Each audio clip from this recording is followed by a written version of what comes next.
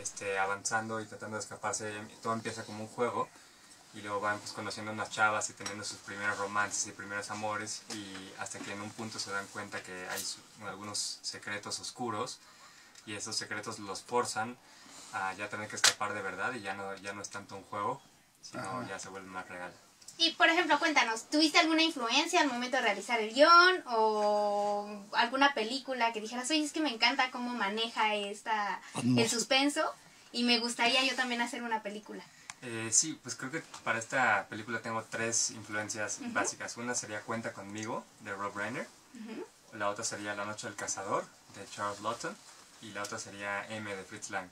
Eh, que persona, son influencias personales que, que yo eh, utilicé para este proyecto.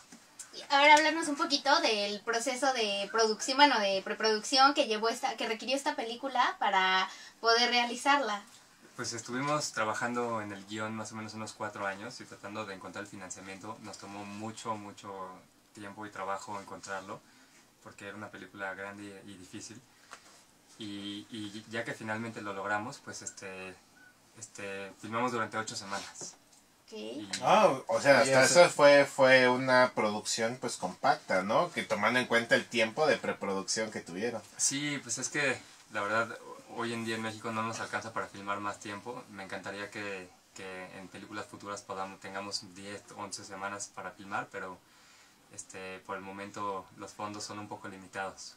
Ok, oye, y bueno, de esta